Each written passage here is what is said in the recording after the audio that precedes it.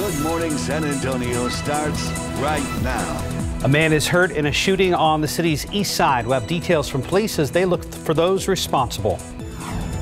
And coming up, the latest numbers on the coronavirus outbreak here in the United States. I'm Andrew Dymburg in Washington, D.C. with the details.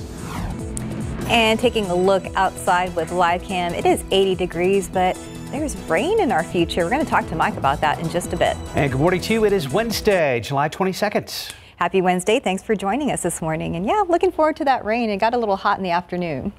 Yesterday? Yesterday. Yesterday. yesterday. And mm-hmm. I was on the lookout for some of those showers yesterday, Mike, but it looks like they mostly stayed to the east of us. Remember, at this time yesterday, mm-hmm. we were mm-hmm. looking at that disturbance moving on in here, and there was a lot of rain off to the east. We had a couple of showers around. That thing just put on the brakes and went almost straight north. Did it? Around So, yeah, we got, uh, you know, nothing basically from it. Uh, there may be a couple of showers, you know, just the one or two of them out there today. Not a great chance of rain. One thing you'll notice this morning, though, is it is. Uh, did you all notice it was more humid this morning when yeah. I felt outside? That. Most definitely. We're at 80 right now, 78 Bulverde, mid 70s Hill Country, and these numbers are definitely up. Yesterday we were down around 71, 70 for dew point temperature.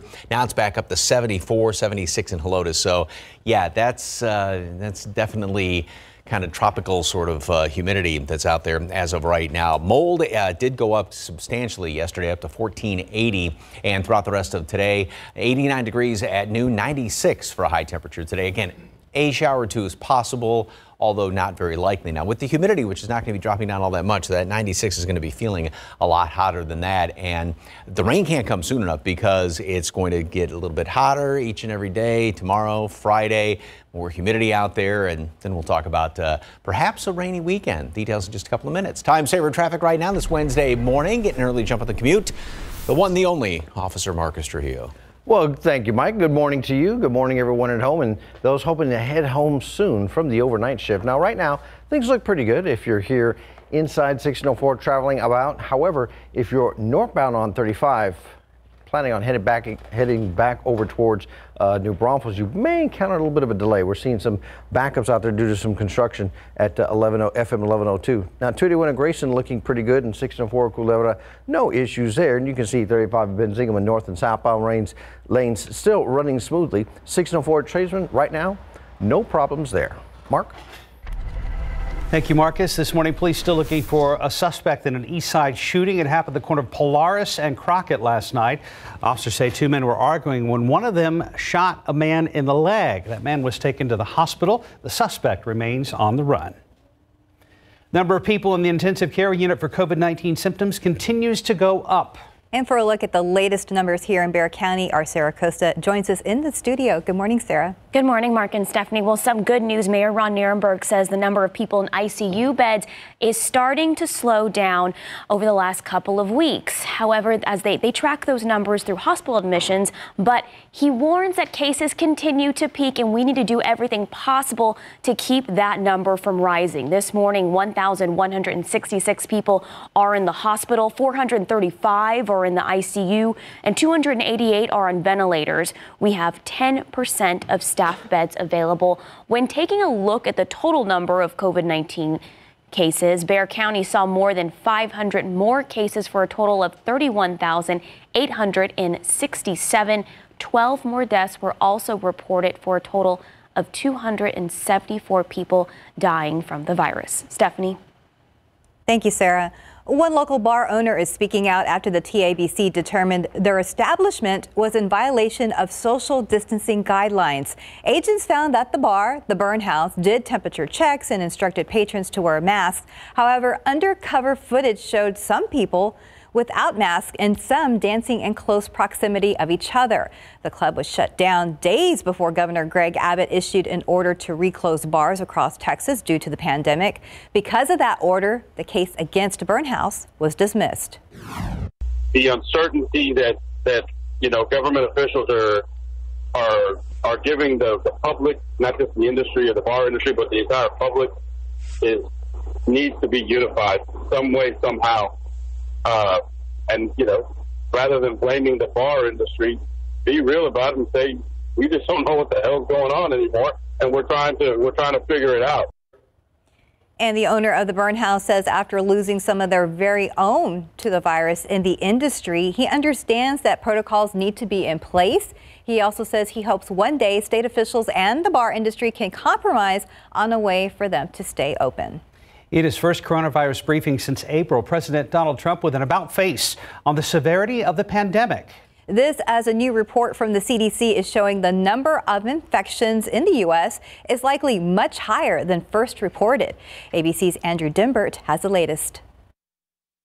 This morning, the latest numbers on coronavirus continue to show a steady surge. Hospitalizations are up in 40 states, the South looking like the Northeast back in April. In California, the number of confirmed cases is likely to surpass New York. And now, an alarming new report from the CDC says the number of people infected in the first months of the pandemic could be 10 times higher than previously predicted. Dr. Anthony Fauci on CNN pushing for continued safety guidelines universal wearing of masks, close the bars, stay physically distant, wash your hands, the really fundamental things. It's not rocket science. Florida, another U.S. hotspot where hospitals are being pushed beyond capacity. Baptist Health in Miami has just one ICU bed left. Every day it's coming into more patients and they're very sick. Meanwhile, at the White House, in his first coronavirus briefing since April, President Trump, who has downplayed the virus for weeks, now acknowledging the severity of the pandemic. It will probably, unfortunately, get worse before it gets better. While his likely opponent in November, Joe Biden, hitting Trump hard. He's basically waved the white flag. He said, I'm not responsible. I don't have to do anything. Dr. Anthony Fauci says he was not invited to Trump's briefing and hasn't spoken to the president since last week. Fauci also brushed off the president's recent remarks when he called Fauci an alarmist. I consider myself more a realist than an alarmist. Now, all of this is taking place while the debate to reopen schools rages on. In Florida, some parents and teachers are suing the governor to keep campuses closed, while here in D.C., some of the school districts are joining others around the country in switching to all virtual learning. Andrew Dymburg, ABC News, Washington. Time check 437, 80 degrees. And still ahead on GMSA, a first look at a one on one interview with three NBA stars talking about social justice. And next, more details on the death of a U.S. military service member in Syria. And taking a look outside with live cam, it was a humid start to the day here on Wednesday, but uh, expecting some rain today and into the weekend. We're going to check in with Mike to see exactly when when we get back.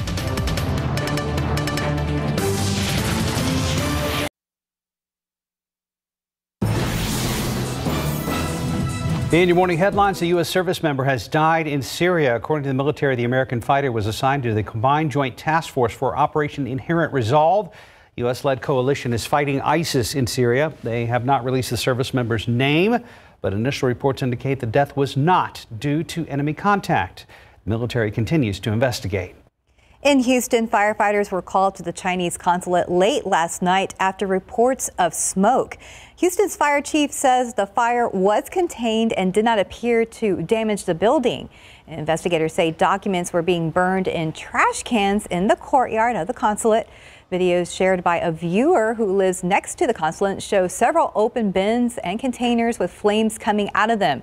People could be seen throwing things into those bins.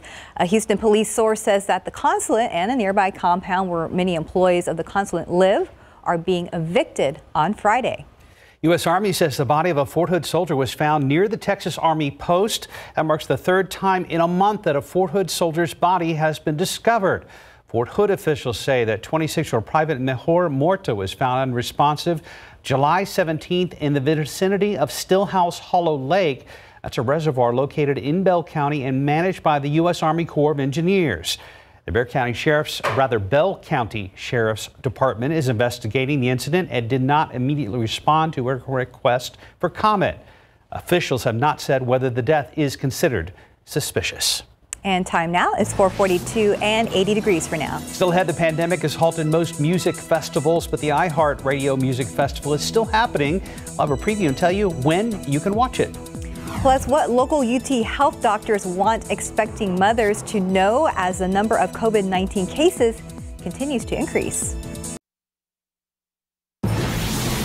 Three of the biggest names in the NBA are launching a major social justice effort. ABC's Kenneth Moton has the details in today's GMA First Look.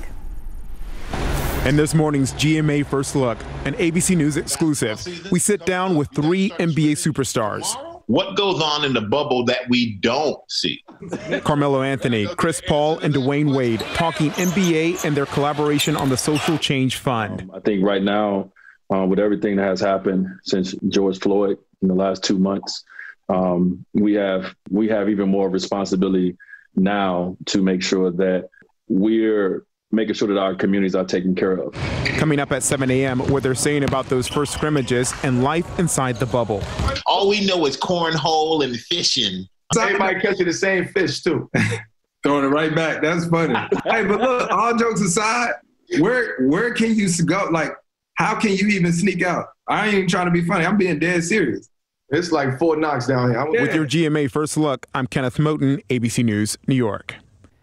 UT Health doctors have a message for expectant mothers as the number of coronavirus cases continues to rise. Hospital doctors say they're seeing about 15 to 20 percent of their pregnant patients test positive for COVID 19. Of that, about 85 percent are asymptomatic. Let's go ahead and check in with Sarah Costa with what that means for new and expectant moms. Good morning, Sarah. Good morning, Mark and Stephanie. Well, I know there's a lot of expecting mothers out there who are nervous, but it's why doctors are taking all precautions. We're told that as soon as pregnant women arrive to deliver at the hospital, they are tested for COVID 19 and are presumed positive as soon as they check in. Doctors say mothers who are positive are then consulted about whether or not their babies will be taken away from them after they deliver as a precaution. One mother who was positive when she delivered says it was scary, but she is urging other moms to stay calm. Corona took everything that we look forward to, like the baby showers, uh, the family coming to see the baby. I um, just have a positive outcome, um, a positive mind, and a strong, and make sure you have a strong support system. If you have a newborn at home or you're late in your pregnancy, be careful of who's around you. Make sure that nobody's sick, uh, who doesn't need to be around your baby. Metro, Metro Health says there has been an increase in pediatric cases. In May, the infection rate was 4.6%, and now it's gone up to 11.2%. Mark and Stephanie? All right, Sarah, thank you. There can be a lot of complications with pregnancy, but with COVID 19, that's very scary.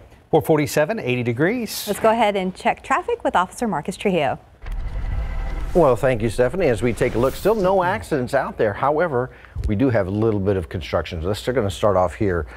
This is uh, 1604 Culebra. No issues there, but as we move on, you can see I-10 La Cantera. We have some uh, construction that continues on out through Boerne Stage Road. And also, this is northbound 35 at FM 1102, and that's what we talked about earlier. Lots of construction, and periodically you'll see just walls of red from all the tail lights as uh, they move the equipment back and forth across the highway there.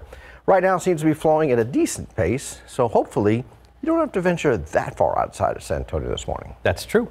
As they say in Texas, another purdy picture. Yeah, I mean, we've had beautiful sunsets mm-hmm. recently. Um, I went for a little walk very briefly around the block yesterday, and it was pretty toasty. yes, it was. Yeah. yeah work and, up a sweat? And uh, yeah, it just, I didn't even try to work up a sweat, but just being outside like that. So if you are going to be outside, especially the next couple of days, including today, lots of water because uh, Temperatures are going to be up about normal, but, you know, which is mid 90s, mid and upper 90s, and we are going to have some humidity sticking around here the next few afternoons. So Rain can't come soon enough. All right, we got our morning clouds hanging around. 80 in town. Same thing Helotes, 79 Canyon Lake. Temperatures are up a couple of degrees from uh, yesterday in the past couple of days, and these numbers are noticeably up. Dew points are in the mid 70s right now on average. Yesterday it was basically low 70s and a lot of 60s. And also, uh, going back to temperatures, remember yesterday we hardly had any 80s on the map at all yesterday. So these numbers are uh, are definitely up a little bit. Now, as far as uh, heat index, yep, it feels like 85 degrees right now. We've got that. And we're going to be dealing with heat indices the next couple of days, well up into the low hundreds. So we're going to keep dew points up in the afternoon hours, up in the upper 60s and low 70s, uh, especially tomorrow and Friday. So just get ready. Then, with the higher humidity over the weekend, at least that's going to feed some uh, some showers around here and a couple of thunderstorms. So here's the computer model for today. This is a short term. Yes, there could be one one or two showers trying to pop up around here. I wouldn't count on it at all. Uh, you know, computer models kind of um, sometimes err just on the side of, okay, there may be a shower or two around. And then tomorrow, uh, there's basically nothing going to be going on as far as any rain chances. All right, off to the, first of all, you know, we are talking off the top of the show, this uh, rain system yesterday that looked like it was going to be moving on in here, and this thing decided to move straight up to the north, and so that's why we basically got nothing as far as any rain. We are still looking at this blob, and I say that as far as a blob, it is not organized at all. There is a chance that this low could become a little bit better organized as it works its way across the Gulf of Mexico, because water temperatures, I mean, it, it, all the ingredients are there for it to perhaps strengthen, but it's just not looking like it's going to as of right now. Jumping ahead into Friday and Saturday, uh, it looks like also timing is starting to move back just a little bit. Remember a couple of days ago, it looked like it, this thing was going to be in here Friday, Friday night, Saturday, and then moving on out. Well, now it's going to be probably late Friday into Saturday throughout the day on Saturday. And then also the other thing, it looks like maybe the center of this is going to be a little bit further to the south, but we still have the chance for some heavy rain around here. And it's going to be now Saturday into Sunday, most of the day on Sunday, and probably even some lingering showers around here on Monday. And could see as of right now, kind of widespread one, three inches, maybe some heavier downpours on top of that. So that's kind of best case scenario as of right now. 89 degrees today at noon, partly cloudy skies. High temperature today, 96, just about normal, maybe a little bit above that but it is going to feel hotter than with the uh, humidity out there. Maybe a shower. Wouldn't count on a shower today. Pretty much almost take any rain chance out of the picture tomorrow. A shower or two is possible on Friday, but it is going to be hot, and those numbers may be a little bit on the conservative side. Those 97s. It's going to be pretty hot and humid the next couple of days, and we're still looking at uh, some potentially some uh, good widespread and at times heavy rain over the weekend. Uh, we were kind of speculating about this as we were chatting early Monday morning, and now here we are midweek, and you're still feeling pretty confident. It's still looking good. I mean, a lot of computer models. I mean, everything is still the consistency now as far as, you know, timing that's slowed just a little bit, but far as this thing moving on in here, it's still looking like it. All right, we can wait for the weekend. Yes, we can. We're enthusiastic. Thank you, Mike. 452, 80 degrees. And coming up next, the digital version of San Diego Comic Con kicks off today. And even some of the biggest stars are bummed that it can't be in person this year. Lotto players, we have your numbers. Pick 3, 872, Fireball 1. Daily 4 number 0269 Fireball 1. Cash 5, 1, 2, 4, 5, 17. And your Mega Millions 14, 25, 26, 41, 43. Mega Ball 15, Mega Plier 3. Good luck. About 5 till, the online version of San Diego's Comic Con starts today, and Grey's Anatomy is taking on the coronavirus. For the latest on what's happening in Hollywood, here's ABC's Jason Nathanson.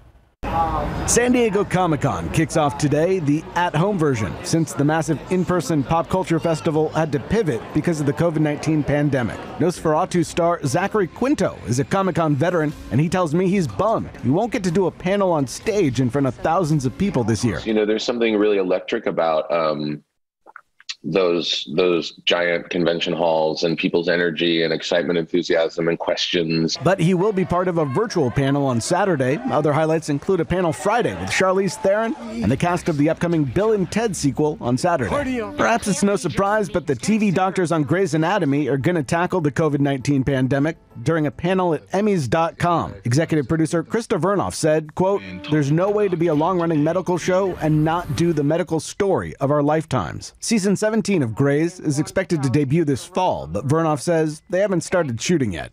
The pandemic has stopped most music festivals from happening, but the iHeartRadio Music Festival is a go. This year's lineup featuring K-pop sensation BTS, Miley Cyrus, Migos, Thomas Rhett, and more. It'll be recorded live on stages in LA and Nashville, broadcast on the CW in late September.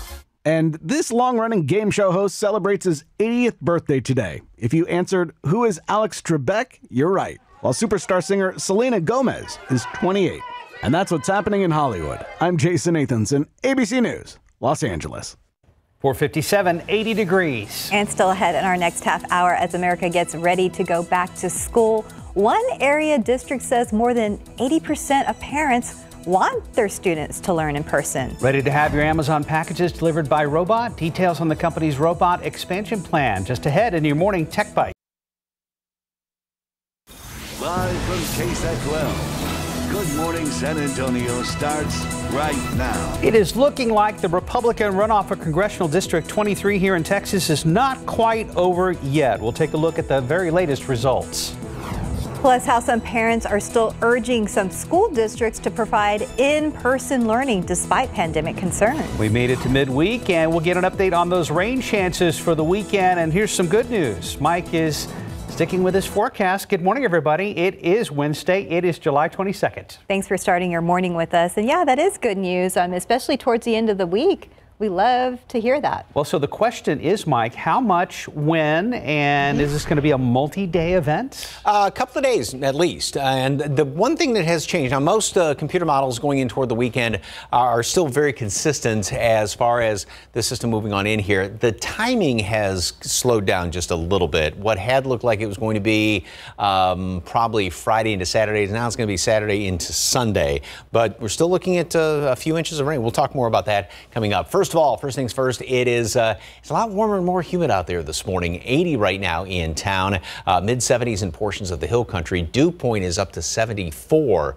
Think back to yesterday, it was down about 70, and that four degrees makes a whole lot of difference. You're definitely going to notice it when you step outside this morning.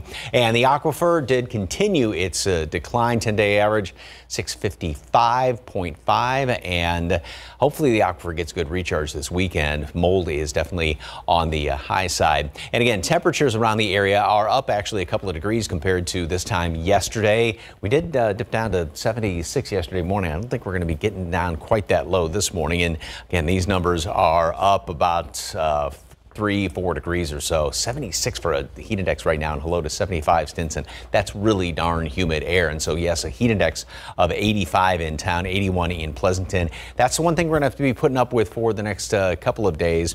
Today and especially tomorrow and Friday is a little bit hotter temperatures and a lot of humidity. Maybe a shower storm this afternoon.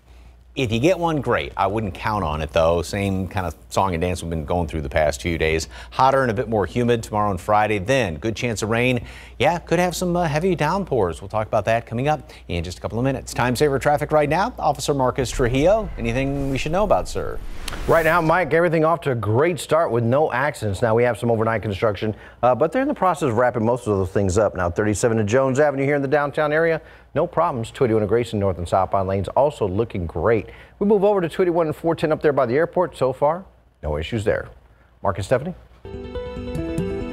Thank you, Marcus. 502 school districts in and around San Antonio, all faced with an evolving pandemic and are having to adapt. Boerne ISD is one district that has allowed parents to decide if students would attend class or learn online. Our Sarah Costa joins us now with what parents there are wanting the most. Good morning, Sarah. Good morning, Mark and Stephanie. Well, it seems that they want their children back in the classroom for in-person learning. Doc, the superintendent of Boerne ISD, Dr. Thomas Price, says so far 81% of parents in their district have expressed that they want their children to be doing in-person learning come this fall. Boerne ISD, which is in Kendall County, is set to begin school on August 12th. Bexar County is under a health directive announced by Metro Health, which forbids schools from reopening for in-person instruction until at least after Labor Day. Harlandale ISD says it will begin distance learning on August 24th. And San Antonio ISD is set to start on August 17th. We have a list of dates on ksat.com. And of course, when it comes back to school information, we want to help you keep informed as much as possible. That's why we've created a special back to school page that's available right now on ksat.com. And you can find tentative start dates for school districts in the San Antonio area, as well as other important information for parents. Mark and Stephanie. And we're going to keep this conversation going. Sarah, the first day of school is just weeks away in some states, but there's no national plan to get kids back in classrooms. Schools across the country struggling to figure out the best ways to reopen and to do it safely. ABC's Karen Travers has that story. Parents and teachers are increasingly worried about how to reopen schools safely. And I'm not sure that I want my children to be the guinea pigs for that. I would prefer not to be the guinea pig.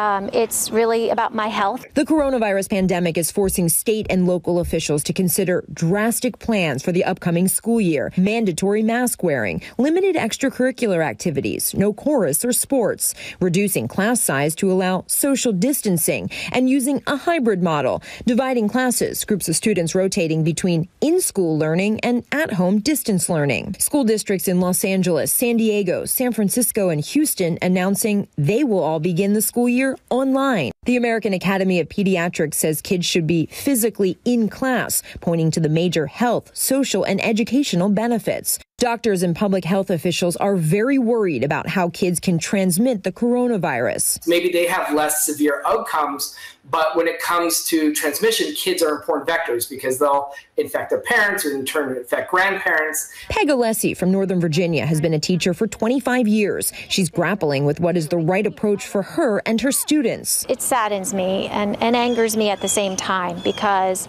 I've never had to be put in that situation where my family comes second because it's my family coming second. Another big issue, one that educators told us is not getting enough attention. What happens if a teacher or student tests positive? Jeff Bowlby is a teacher in the Philadelphia suburbs. His wife, a friend of mine for nearly 30 years, is also a teacher. They have three young children. We're going to be sending my son into a classroom of, of 20 kids, my daughter into a classroom of 20 kids.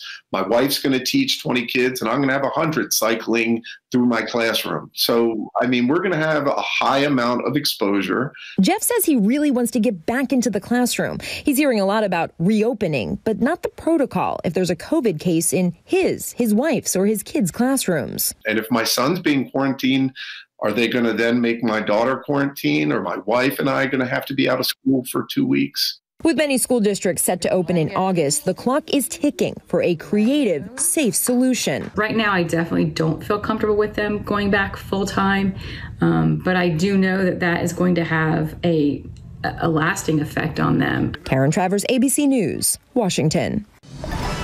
It was a very tight race. Now, a week later, the lead appears to be growing in the Republican runoff for Congressional District 23 here in Texas. Tony Gonzalez was ahead by seven votes ahead of Raul Reyes, but now Gonzalez's campaign says that's increased to a coincidental 23 vote margin. In a statement, his campaign says, quote, Tony's margin of victory has increased now that most counties, including all of the largest counties in the district, have updated their results to reflect all votes legally cast. End quote. Gonzalez's opponent has not given up the race on Facebook. Reyes posted, quote, ballot canvassing through our 29 county district has started this week, and with the deadline being Thursday, July 23rd, end quote. He also made mention of an effort for a recount fund. On the Democratic side, Gina Ortiz Jones, who won her March primary. Now, this is a race to replace Representative Will Hurd, who is stepping aside at the end of his term. District 23 stretches from San Antonio to El Paso. Right now it's 507, 80 degrees. And still ahead, how Major League Baseball is still letting you cheer on your favorite team, even if you can't be there in person. Uh, the high demand is affecting consumers' wallets, especially at the grocery store. What you can expect next time you go shopping. And taking a look outside with live cam, a shot of downtown San Antonio, 80 degrees for now. We don't have the rain in that shot, but we'll see it soon. We're going to check in with Mike in just a bit.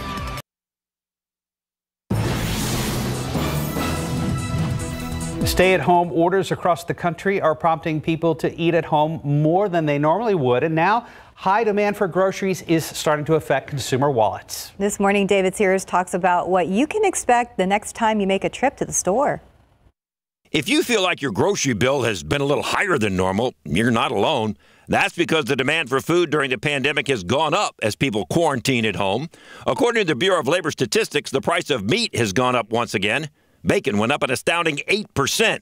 Beef went up almost 5%. And frozen seafood, 1% more expensive. Morning essentials like cereal, fresh veggies, and that coffee you love to make before working from home, it went up about 2%. Americans also paid more for sweets and snacks like cupcakes, cookies, and carbonated drinks. But there is some good news. The cost of eggs, butter, and milk prices fell last month. Fresh fruit like apples even made the list. And though dessert costs are up, the price of sugar and sugar substitutes fell a little more than usual. Meanwhile, some prices stayed flat. A few things you don't have to worry about poultry, rice, and cheese prices. And here's a pro tip if you have to stick with a budget. Try using store apps where available to compare prices of items before making the drive. David Sears, KSAT 12 News. And experts say you should try minimizing trips to the grocery store during the pandemic or consider having those groceries delivered. Well, look how hugely popular curbside yes, has gotten lately. I, I love it. Hadn't used it before the pandemic and, and now? Now I, there's no turning back. Yeah. right now it's 512. We're at 80 degrees. And still ahead, country music star Tim McGraw getting ready to launch a new album with live stream show. We're going to tell you when and how you can get tickets. And next, Walmart ending a Black Friday tradition by closing stores on Thanksgiving. Details on the decision coming up. When migraine strikes, dissolve it with Nurtec. The only quick dissolve treatment for migraine attacks that can get many people back to normal activities and last up to 48 hours with just one dose. Wonderful don't take if allergic to Nurtec. The most common side effect was nausea. Nurtec. One dose. Wonderful. I'm 53, but in my mind, I'm still 35. That's why I take Osteo Bi-Flex to keep me moving the way I was made to.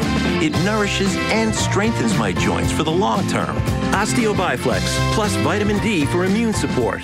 No matter the breed, the size, or the age, all dogs descend from wolves, and for thousands of years they've shared a love for meat. Blue Wilderness is made to satisfy that desire. Feed the wolf that lives inside your dog with Blue Wilderness. Welcome back, 516. Amazon expanding its robot delivery program. ABC's Kenneth Moton has details in today's Tech Bytes. In today's Tech Bytes, Amazon expands testing of its delivery robot. Scout, a six wheeled robot, has been on the road in two locations since January of last year, but Amazon now says it is being tested in Atlanta and Franklin, Tennessee. No word on when Scout's testing will be completed. A tradition ends in November when Walmart fans will have to shop online on Thanksgiving. For the first time in 30 years, Walmart is closing on the holiday as a way to say thanks to workers for stepping up during this pandemic. And baseball fans will still be able to influence their favorite team. When the season starts, people will be able to cheer or boo into Major League Baseball's app. Ballpark staff can then match that up with the artificial crowd noise that's being pumped into the stadium. We boo this pandemic, but we will cheer when it's over. Those are your tech bytes. Have a great day. Time for your consumer headlines now. Our Sarah Acosta joins us in the studio this morning with the latest. Good morning, Sarah. Good morning, Mark and Stephanie. Well, Twitter is trying to crack down on false information, and you could be getting some more Frosties from Wendy's. But first, Twitter is determined to shut down accounts that spread conspiracy theories online. The social networking site says it will permanently suspend some accounts linked to QAnon. QAnon is a group known for its disinformation campaigns. Followers believe in conspiracy theories, including a deep state effort against President Trump. Twitter's safety team tweeted Tuesday that spreading theories such as these has, quote, the potential to lead to offline harm. Well, Target has just about hit its target with fresh grocery pickup. Now, more than 1,000 stores in 47 states are offering same day pickup of everything from produce and dairy to meat and frozen food. That's in addition to everything else you can pick up either in store or curbside. The goal is 1,500 stores by the holidays to see if your Target of choice offers fresh grocery pickup just check the app. Target says your order will be ready in a few hours, and there are no membership fees and no minimum order for free pickup. Well, here's a new way you can get free Frosties from Wendy's. The fast food chain is rolling out a new rewards program. Your purchases through the Wendy's app can now earn your, you points for food and drinks. Every dollar you spend gets you 10 points, which includes Frosty milkshakes for 150 points, for example. Wendy's is the first major burger chain to launch a rewards program focused on food. Fast food restaurants are putting a greater importance on digitally placed orders. Wendy's says more than 5% of its sales come from online and app orders. Mark and Stephanie. Yeah, those apps are getting a lot more discussion now. You pull up the drive-through, they ask you flat out, "Hey, do you have our app?" Yeah, exactly. Mhm. I was going to say that uh, Chick Fil A already has that rewards program, and it's working very nicely for our family. So this should be cool too. Awesome. Yeah. Let's check traffic right now. Let's see how things are looking on the highways and byways of the Alamo City. Marcus, do we have good news? Yes, no accidents right now. So that's the great news. No incidents out there, and the uh, construction starting to wrap up. So let's take a look at TransGuide 410 at Babcock. No issues there. Moving over to the I-10 410 interchange, you can see there's more than enough room out there for folks. And then up on the northeast side, 410 Austin Highway. Travel eastbound and westbound on 410, no problems. It's right near the 410 35 interchange. You can see in the background there, there's north and southbound lanes of 35 so far. Looking great. Thank you, Marcus. At fir- first blush, Mike, this looks like this picture was taken down at the coast. I know. something. I can't believe this is right around the corner on Woodlawn Lake. Some of the prettiest pictures, especially you know when somebody's taking a shot down toward downtown Woodlawn Lake, it's just absolutely gorgeous there. So yeah, beautiful, beautiful picture. Thank you very much for the uh, KSAT Connect picture. And even though you know, looks like. Uh, Looks like the, the skyline is about same uh, view as yesterday. Remember, it's a little bit more crisp. We do have a lot more humidity out there this morning, warmer temperatures as well. If you uh, just to compare, yesterday I think we only had one temperature that was up in the 80s, and now we've got a handful of them, and the humidity is definitely up. Dew points are back up into the mid 70s right now. We were down about 70, and it was a little bit more comfortable yesterday. So we are dealing with the heat index right now in the uh, low to mid 80s around the area, and that's the thing we're going to be dealing with for the next couple of days because the humidity is going to be staying well up into the in the afternoon hours, well up into the upper 60s and low 70s, and with temperatures at or above normal, normal being 95, we're looking at some mid upper 90s the next couple of days. It's going to be pretty hot and humid. Then the rain is going to be moving in here. As far as today, uh, rapid update computer model has a couple of showers maybe popping up around the area. Again, I wouldn't count on much of anything few and far between. If you get one of these showers, fantastic. Um, you could have a decent little downpour, but uh, again, they're going to be few and far between. And tomorrow, basically almost nothing out there as far as any rain, perhaps just one or two of them sort of uh, scattered about the area. Yesterday's rain at at this time yesterday, it was looking very promising that we are going to get rain from this system, and this thing decided to just work its way basically pretty much straight up to the north. We had a few of those uh, scattered showers in the afternoon along the coastal plain. All right, out to the east of us, there's that disturbance which is still working its way in our direction. And Hurricane Center is keeping an eye on it. Maybe a 30% chance it could form into something. There is warm water out there in the Gulf of Mexico, of course, but uh, it's not looking right now as though it would become anything tropical. It's going to have a lot of tropical moisture associated with it, and that's why we could see some decent downpours. The other thing that has changed a little bit is the timing. It looks like it is being delayed a little bit by, say, about 12 hours or so. So instead of Friday and Friday night, especially, now it's going to be like Saturday overnight Friday into Saturday, throughout the day on Saturday, and then Saturday night into Sunday. And also the position is a little bit different. Yesterday it looked like it was going to be more of a uh, shot right at us, and now it's a little further down to the south, but we'd still be on the, the right hand side of it, the rainier side of it, and this would last into uh, Sunday. Right now, about widespread one, three inches of rain is going to be possible with some heavier amounts on top of that again, we're still a couple of days off. so you know, things are going to be kind of narrowing in on it, but uh, it is looking still promising for the weekend. 89 degrees today at noon, partly cloudy skies. High temperature. Normal's 95, just about normal 96, but of course we do have the humidity out there. And one or two showers are possible today, but not very likely. Tomorrow, pretty much take rain out of the picture. Upper 90s, same thing on Friday. Then we have the chance for the uh, showers, thunderstorms, a couple of heavier downpours are possible over the weekend. Temperatures only in the low 90s and maybe a couple leftover showers on Monday. So it looks like a bulk of the weekend you're setting aside for rain chances. Mm-hmm. Good. And like I said, things have moved because you know, two days ago, Sunday looked like we might have mm-hmm. salvaged it a little bit, but now right. it looks like it's going to be raining into Sunday as well. So I think we're okay with a multi-day nope. reservation yeah, from Mother sure. Nature. We'll, we'll, take that. No complaints, yeah, as far as that goes. Thank you, Mike. 523, 80 degrees. And up next in your morning spotlight, a look at the cast of the movie Scott Pilgrim versus the World, reuniting for a special rereading of the movie script. 526, the pandemic still affecting everything, including Hollywood. That includes events taking place online instead of in person and more celebrities testing positive. CNN's David Daniel has the latest in today's Hollywood Minute. Scott Pilgrim versus the World writer director Edgar Wright led a 10th anniversary table read of the cult classic. The virtual reunion featured most of the stars of the fantasy action comedy, as well as original Scott Pilgrim graphic novels creator Brian Lee O'Malley. The event was a benefit for Water for People, which helps bring clean water and sanitation to communities worldwide. It's just a great collection of songs and music. Tim McGraw's new album is Here on Earth, and due to the pandemic, he's launching it with a live stream. August 21st, McGraw will play both new and classic songs, tell stories, and chat with songwriters and his five piece backing band. Tickets are on sale now at live.timmcgraw.com. This was a story that needs to be told. Anna Camp is the latest celebrity to announce a COVID 19 diagnosis.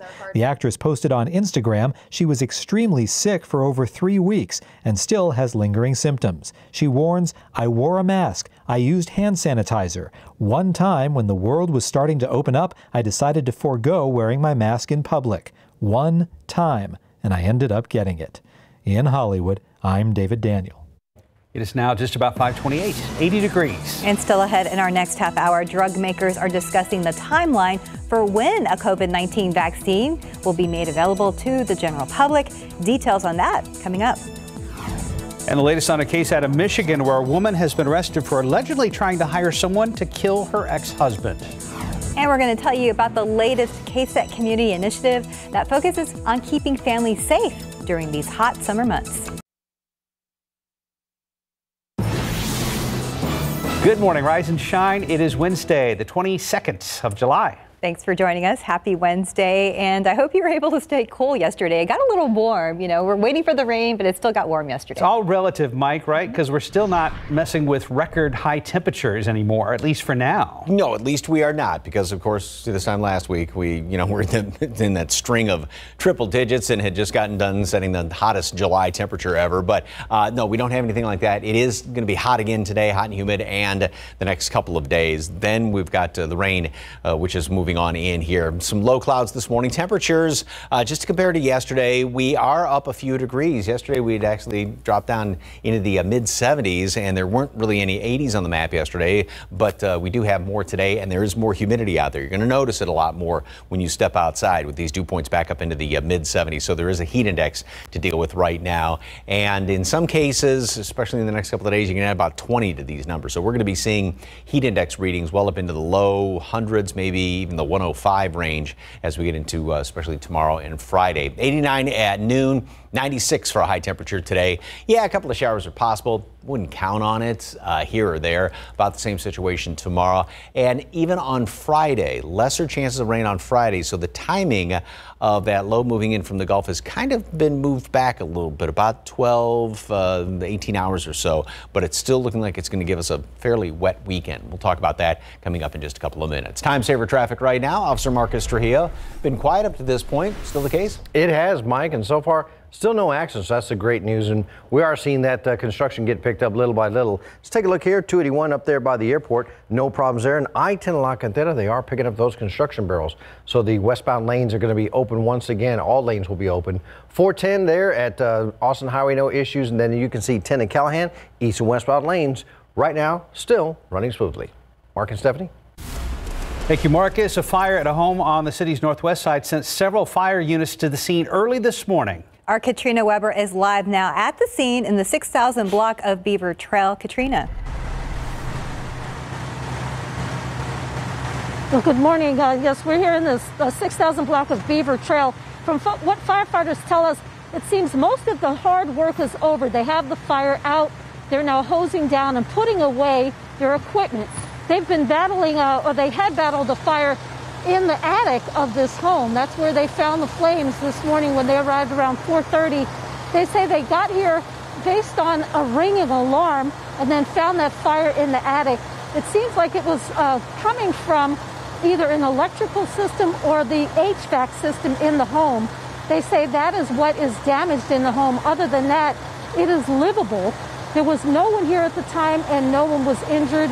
And firefighters say they really don't even need to call in arson investigators because it does seem that this was an accidental fire, perhaps related to the electrical or HVAC system in this home. So again, they have things wrapped up here uh, in the 6,000 block of Beaver Trail, and they are due to leave here momentarily. Reporting live on the northwest side, Katrina Webber, KSAT 12 News. Thank you, Katrina. A show of support from San Antonio to Houston for firefighter Captain Leroy Lucio. He lived here in San Antonio but worked in Houston. Captain Lucio also spent a month in a San Antonio hospital after becoming infected with the coronavirus, battling the illness for weeks before passing away. I appreciate the help of the San Antonio Fire Department and Chief Hood. They have uh, provided everything that we've that we've asked for, and I can't say enough about the uh, support that the San Antonio Fire Department has given us in honoring our, our captain. That's the chief of Houston Fire. Captain Lucio, a 29-year veteran and is the first Houston firefighter to die from complications of COVID-19.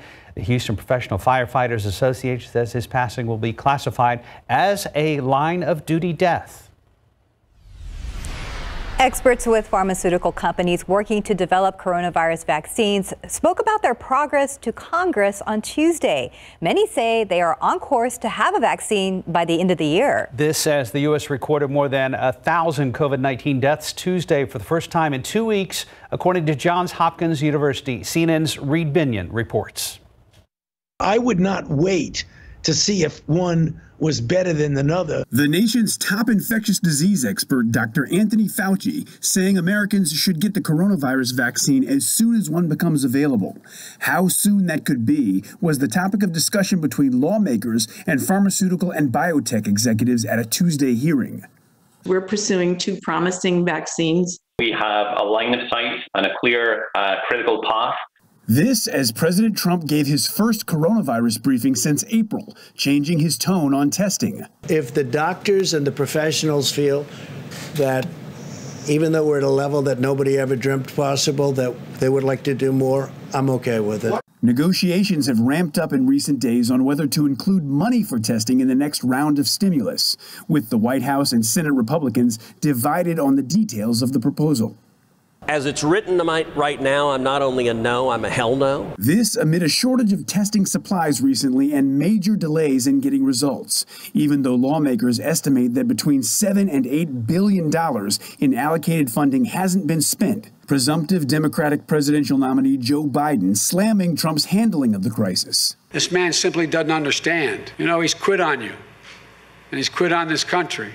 I'm Reid Binion reporting. In your morning headlines, Chicago police say at least 14 people were shot in a drive-by shooting outside a funeral home last night. That vehicle with the shooters then crashed and the gunman ran off. Police say people at the funeral home shot back at those suspects and they have one person of interest detained for questioning. The victims were taken to five different hospitals for their injuries, and police are still looking into that shooting, saying they found around 60 shell casings at the scene. Australia, Japan, and the U.S. conducting a trilateral passage of the Philippine Sea, which lies closely to the South China Sea, is the latest signs of military might near disputed waters. Since Sunday, the naval ships have held joint exercises, which were expected to last until tomorrow. Australia's Defense Department says the naval ships will also participate in upcoming exercises near Hawaii. And Prince George is growing up. The young heir to the British throne turned seven today. Ahead of his birthday, the Duke and Duchess of Cambridge released new pictures of George. The photos were taken earlier this month by his mother, Catherine. Judging by a smile, George must be having fun at his family's country home. Well, I see so much of his father in his face, but also a little bit of Princess Diana, I think. I think. so too. Mm -hmm. Yeah, growing up. Yeah. yeah, adorable kid. 538, 80 degrees. Up next, new details on a woman who was arrested arrested for allegedly trying to hire someone to kill her ex-husband. Outside with live cam, if we told you that the upcoming weekend was looking soggy, would you be upset? No, I'll be excited. Thank you, Steph. Forecast is coming up. 541 alleged murder for hire plot brought down by an undercover state trooper. That's as police say a woman thought she found a hitman online to have her ex-husband killed. ABC's Andrea Fujii has more from New York. This morning, a Michigan woman is now behind bars after police say she used a fictitious website to try to have her ex husband murdered. I'm very surprised that somebody thought that this website was a true website that you could do this. Investigators say 51 year old Wendy Wayne contacted rentahitman.com and completed a request form. But instead of a call back, police say the owner of the site called them. Police say Wendy met with an undercover officer and told them she was willing to pay $5,000 plus out of state travel expenses to get the job done where her ex husband now lives. We used a, uh, a state trooper posing as the hitman, and there was a conversation and she provided some funds for travels. And at that time, arrest was made. Now arrested and charged for solicitation to commit murder. Police say the owner of the site claims he's helped stop more than 130 murders. I most definitely think that uh, a life was saved. And doing a news story on this, I'm pretty sure that when this news story gets out, that some other uh, lives might be uh, saved by this. This isn't the first time something like this has happened. In Northern California, the owner of a tech website called rentahitman.com says they've also received many requests to have people killed. Andrea Fujii, ABC News, New York. 542, 80 degrees. Up next, looking to add to the family, we have some furry friends that are in desperate need of a forever home. 545. Good morning and welcome back. Every summer, KSAT joins up with our community partners, University Health System, to continue to keep our viewers informed about how to keep your families safe. From how to prevent heat stroke to water safety, over the next couple of days, professionals from University Health System will provide us with the latest safety tips. Our Sarah Acosta joins us live now with an overview of our summer safety campaign. Good morning. Hey, Good morning, guys. Well, you know it's been hot. I don't have to tell you that. That's Mike's job to talk to you about those triple digits. But how to keep you and your family safe is actually really important, especially during those triple digits. The most common weather occurrence associated with death is not a natural disaster like a hurricane, but it's the heat. It's why University Health System will be sharing ways to keep you safe this summer. And since more families will be visiting the water to stay cool, we'll also hear from health professionals about how to stay safe.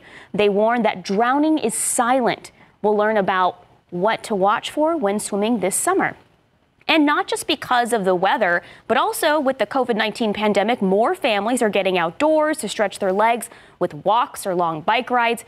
We will also bring you some tips to stay safe, whether you are a pedestrian or behind the wheel.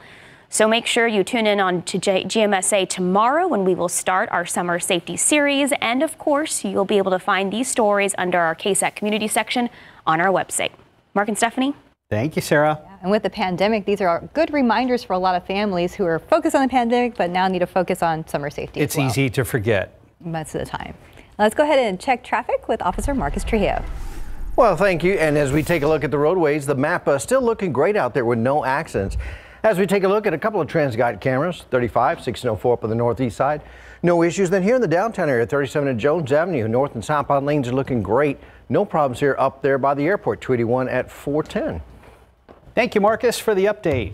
All right, we're going to talk about weather in a minute. Mm-hmm. Won't okay. have any triple digits like Sarah was saying, but it's going to yeah. feel like it. She did remind you that that's your job to tell us that. Yes, indeed. in case you forgot. I get to be the.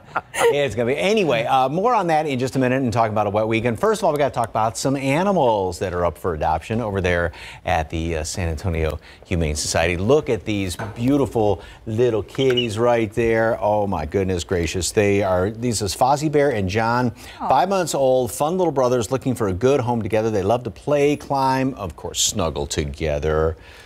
Yes, and George.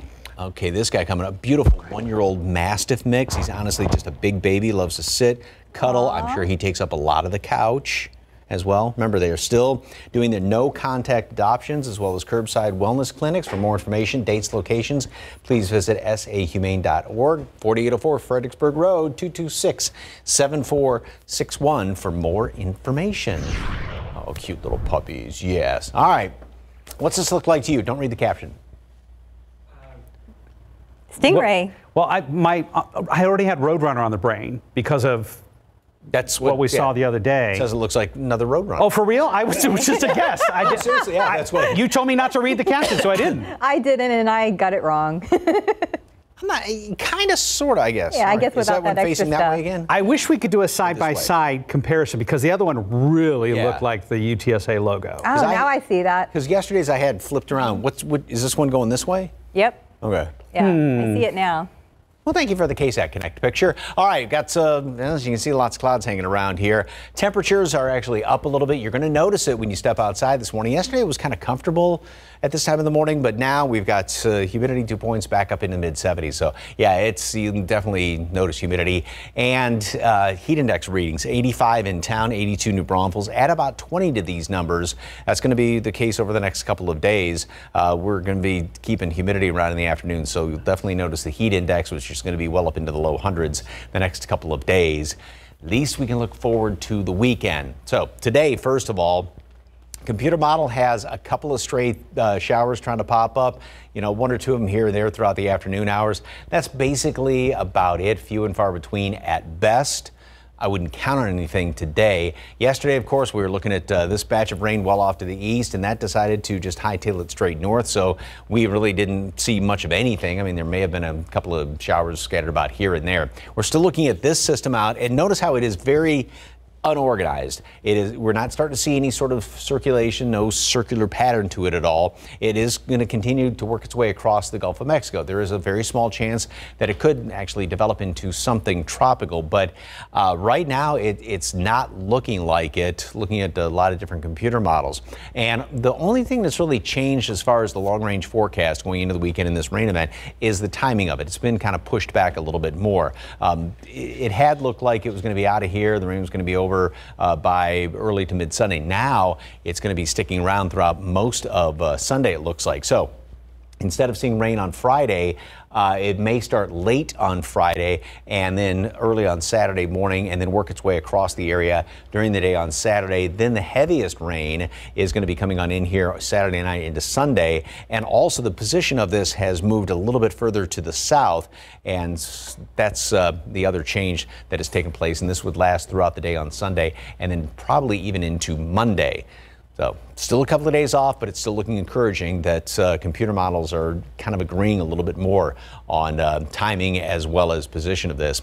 The 89 degrees today at noon, partly cloudy skies. High temperature today, 96. Normal's 95, so in the ballpark again. A couple of showers are possible, and we will have that humidity to deal with, so it's going to feel hotter than that. It's going to be pretty toasty the next couple of days. A lot of humidity, low hundreds for heat index readings. And then we have those rain chances moving on in here. Maybe some heavy rain.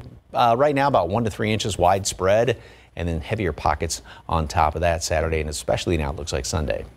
Well, the- Fantastic. I was going to say the warm weather will pay off, so we'll wait for that weekend. And we need the rain. Mm-hmm. Having some clouds around, taking a break from the heat too. So, yeah, we'll bank it. Yes. Yes. Thank you very much, Mike. 552, 80 degrees. And up next, the name Marie Curie, known throughout the world, but a new movie digs deeper into the life of the legendary scientist than the quick biographical sketch most of us get in school. We're going to have a preview just ahead.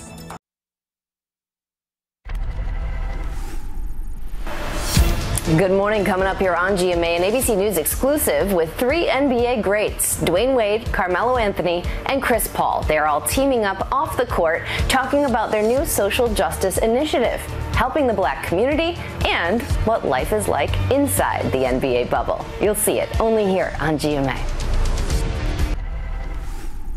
I want to tell you about radium. A most peculiar and remarkable element because it does not behave as it should. Neither did Marie Curie. The only person to win Nobel Prizes in two separate sciences is the focus of radioactive. We are here to tell you that you have fundamentally misunderstood the atom. Rosamund Pike and Sam Riley play Marie and Pierre Curie, collaborators in the lab and in life. There is another element that's skewing the results. You think you found an undiscovered element? You know, who changed the face of the 20th century and unleashed, you know, one of the most remarkable discoveries and also one of the most destructive uh, natural phenomenons on the world. I mean, it, it's it's mind blowing. Radioactive charts their discoveries as well as the far-reaching consequences of their work and digs into details of Marie's life that surprised director Marjane Satrapi. I thought I knew everything, and once I put uh, my nose into it, and when I start making the research, each step it becomes bigger and bigger and bigger. Both Satrapi and Riley heaped praise on Pike's portrayal of Curie. That's the secret actors don't want to tell you. You know, when you're working with someone really good, you believe what they're saying, and what you're saying then comes naturally. This is my fight.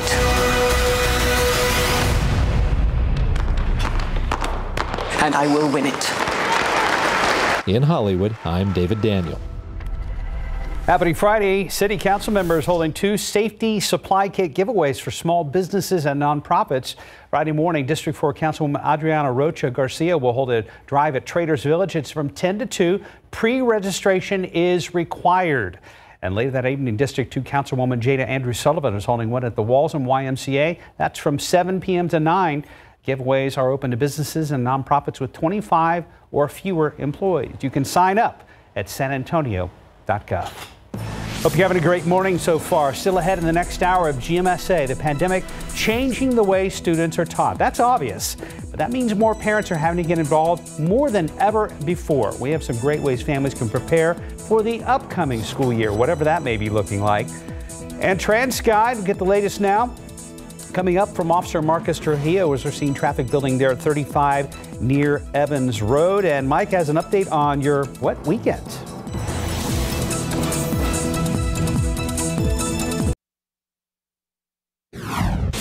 This morning, physicians are giving a warning to expectant mothers about coronavirus. Hear what they have to say in a matter of minutes. And coming up, the latest numbers on the coronavirus outbreak here in the United States. I'm Andrew Dymburg in Washington, D.C. with the details. And taking a look outside with live cam. When you step outside, you will feel that humidity, but I promise you the payoff will be later in the week. We'll check in with Mike right now in just a bit. Live from KSAT 12.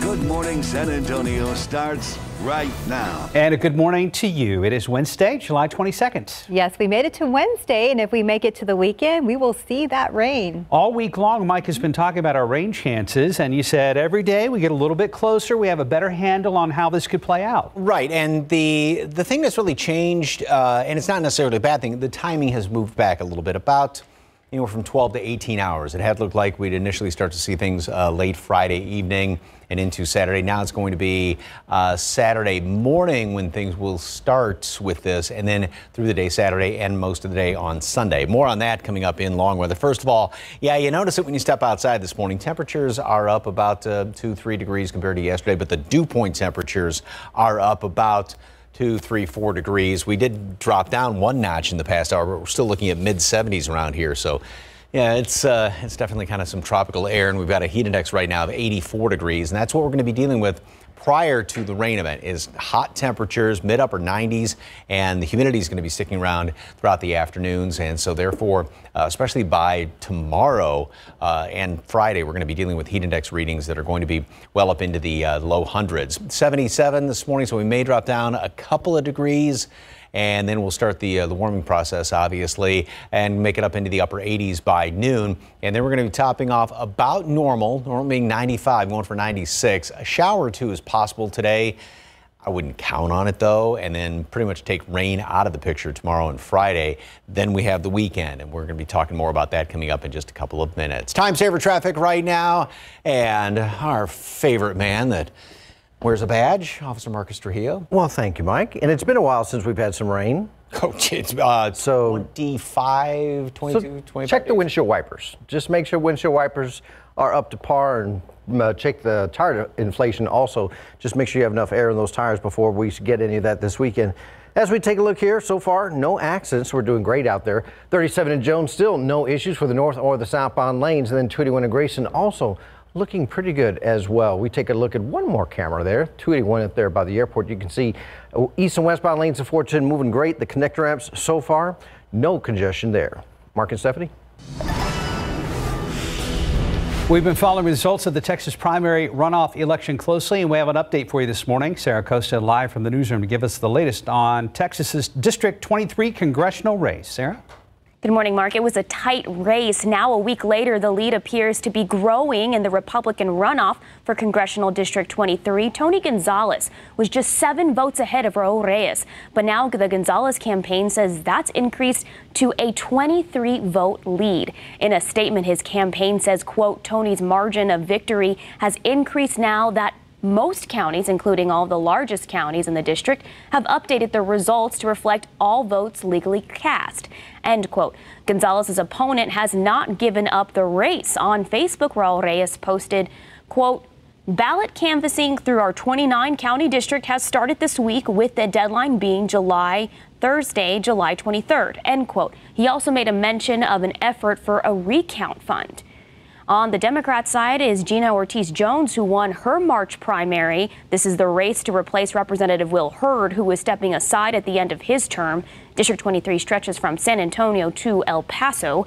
You can follow the latest election headlines right now on KSAT.com. Just search Vote 2020. Stephanie?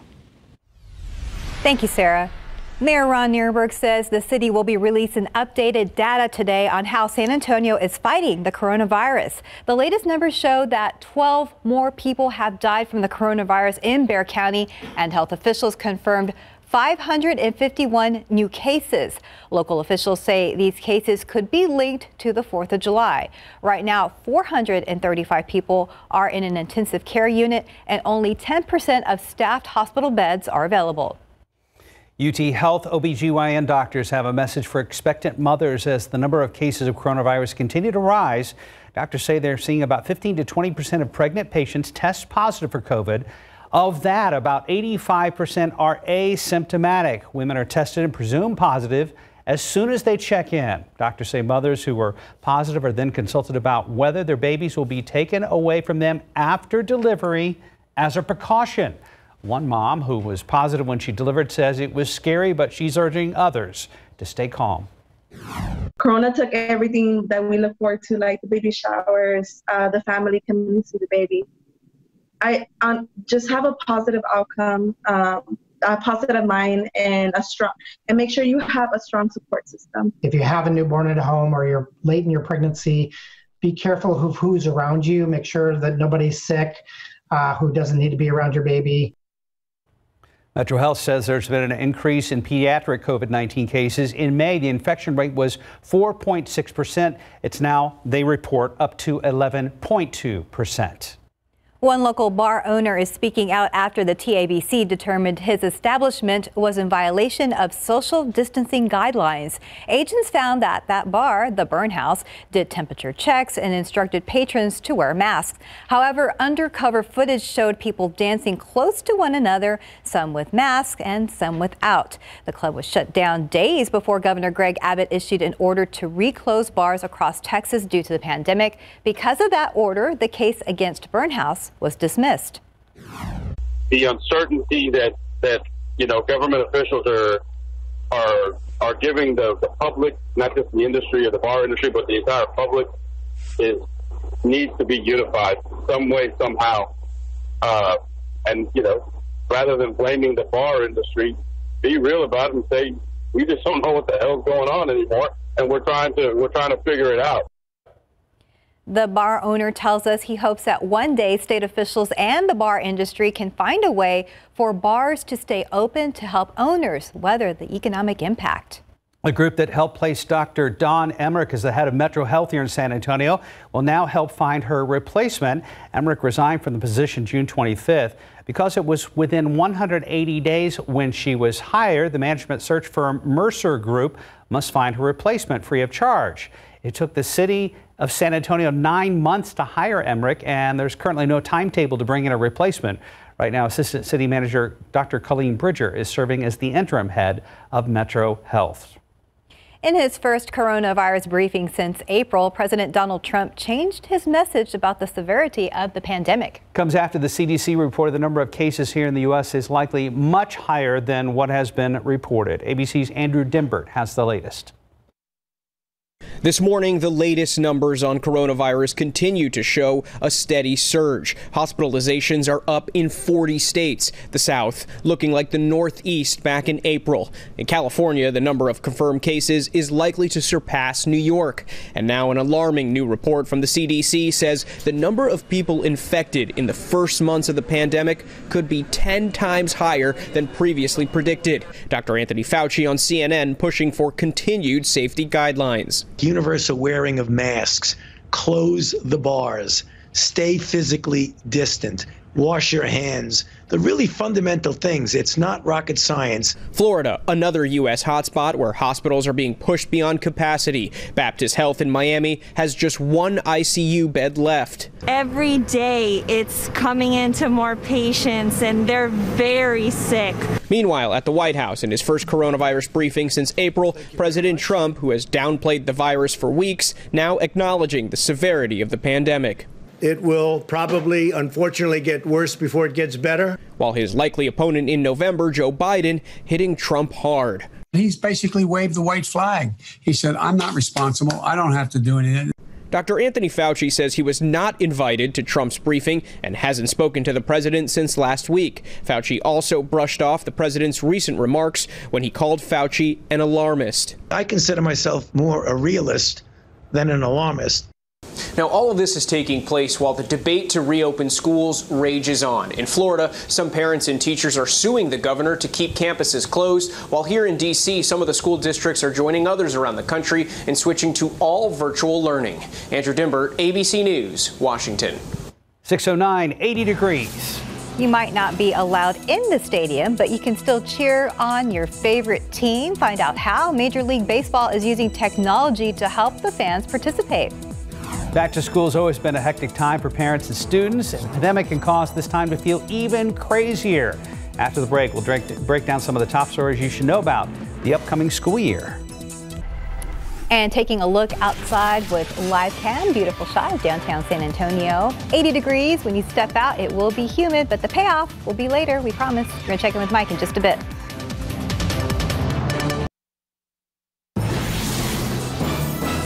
Area school districts are set to start in a month or less, and there's still so many questions that need to be answered for teachers, parents, and students. This information has been changing every day because of the pandemic, and we want to make it easy for our viewers to keep up with all these changes with our KSAT.com back to school page. Sarah Acosta joined us live in studio with the latest stories on the page. Good morning, guys. And there's still so many nerves and lots of questions as information changes every single day, which is why we created this back to school page on KSAT.com to keep everyone informed. And right now, the latest information still remains that there will be no face to face classes or extracurricular activities in the San Antonio area until after September 7th. That was decided by the San Antonio Metro Health Department directive issued on Friday. They are also working with a task force group of teachers and students on how to best move forward. But as we wait for more updates, there are many other stories on our back to school page, including how some school districts in northern Texas are allowing teachers to wear scrubs to school,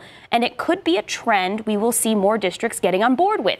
Garland and Lancaster independent school districts recently announced the change. Teachers had requested the dress code change, and the districts complied. The Garland superintendent said scrubs are easier to clean and disinfect, so it just made sense to make the change.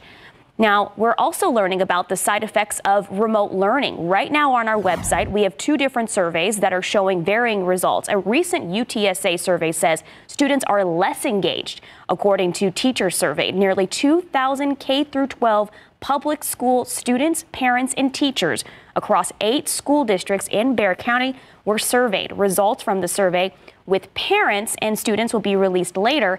However, we also spoke with a local education instructional consultant who says local early surveys also show students are receiving a great instructional experience.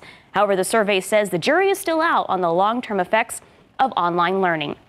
And you can find the latest school information on our back to school page. Just head to ksat.com slash back to school. Thank you, Sarah. Sarah, I know a lot of parents and teachers are watching this very closely. 615, 80 degrees. Officer Marcus Trujillo, I know for Wednesday, was it looking too bad earlier? How's it looking now?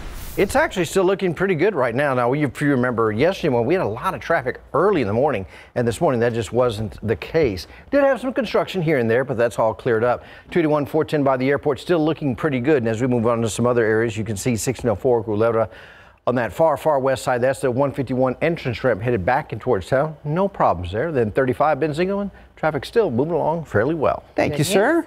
Morning, Mike. How are you? We're good. How are you? Doing uh-huh. well. So you were out yesterday afternoon, got pretty hot. Yes, it did. We were trying to brave a bike ride Mm-hmm. again, and, and we waited and waited, but uh, we're like, okay, it looks like it's okay now. And then we walked back out and walked right back in. Y'all did an A for effort, though. Yeah. Now, temperatures, now, I know we haven't been anywhere near normal for the entire month of July, but uh, we are going to be seeing temperatures at or a little bit above normal, but then we got the humidity to deal with. So, you know, normal high being 95 degrees this time of year. I like the point of view in this KSAT Connect picture. This is wonderful, beautiful Oh, view. beautiful. Of the Alamo Dome and the Tower of the Americas. Great shot there. Thank you very much for the uh, the picture. Appreciate that one. Got some uh, clouds starting off this morning, of course, and temperatures. Keep pointing out how it's up a little bit compared to yesterday. The humidity, of course, is up compared to uh, yesterday and. Come on, come on, map. There we go. We do have a little bit of a heat index to deal with as of right now, and that's what we're going to be dealing with in the afternoons the next couple of days is the, the humidity is going to put temperatures or make it feel like it's well up into the low hundreds the next couple of days. So despite the fact that high temperatures will be within range of normal. So as far as uh, today is concerned, a couple of stray showers are possible, not very likely. Kind of the same song and dance that we've been going through the past uh, few days. And then uh, tomorrow, Friday, you can almost take rain completely out of the picture. Going back to yesterday, now we did have the uh, showers that uh, were really showing up there off to the east of us. And we've got a couple of them, as you can see, in some of our eastern counties right now. But a lot of these are just kind of sliding straight up to the north. And, you know, that's taking into account the one or two showers out there. And possible today, and that's going to be about it. This is the hope for the weekend, and notice how it. I mean, it's just literally a blob out there. There's nothing at all that is organized about this. There is a very small chance that it could become a bit more organized, but uh, Hurricane Center is not really not really too bullish on this one right now, about a 30% chance. And this despite the fact that it's going to be just traversing the uh, the Gulf of Mexico. And this is one computer model, and obviously it has, you know, uh, not very well organized, maybe a little bit of circulation trying to form up as it reaches the coast. And this is going to be Friday as it reaches the coast. This is the, the change that has taken place uh, really since yesterday. It had looked like we are going to start to see some of the effects of this late Friday and Friday night. Now it's been delayed by about 12 hours, maybe 18 hours or so. So it'll start to work its way in here. Friday into Saturday, and this computer model pretty much has the uh, the center of circulation staying just about uh, right on top of San Antonio, maybe a little bit uh, below that. However, different computer model, um, about the same timing. Uh, but as far as the location of this, it has it primarily a little bit further down to the south, and so it has more of the heavy rain, maybe San Antonio and our southern counties around here. Both timing wise are about the same, but the difference being the positioning of it. It's still, I mean, both computer models have uh, almost everybody getting some decent rain and maybe in some cases, unfortunately, a little too much rain, and this would be continuing through a good portion of the day on Sunday and then finally, uh, well, trying to get on out of here by the first of the week, but still a few straggling showers around here, even going into Monday. So uh, it's still very encouraging as far as the rain chances over the weekend. Just the, the timing of it, uh, it may make for just a completely wet weekend, which wouldn't necessarily be a bad thing. Ni- uh, 89 degrees, pardon me, at uh, noon today, partly cloudy skies, and a high temperature today up to 96. Couple of showers are possible, although not very likely. If anything, maybe uh, off to the east would be the best chance for it. And then tomorrow, we're going to be up to uh, 97 degrees, a couple of notches above normal, and the heat index is going to be well up into the low hundreds. Then those showers and storms move in here Saturday, Sunday, and a few lingering ones on Monday. Wow. I know. Looking forward to it, Mike. Yeah, and, and again, timing wise, everything's kind of in agreement now, computer models, but you know exactly where it is. So and that's that can still fluctuate a little bit because it's still got about uh, you know two, almost three days till it gets here. So Keep us posted. Thanks, right Mike. now, 620, 80 degrees. And three of the biggest names in the NBA are launching a major social justice effort. Find out more in today's GMA First Look. Here's your secret word of the day. Enter it on ksat.com slash Circle K for a monthly chance to win free gas for a year. Every entry wins a free iced coffee. Win with Circle K and GMSA.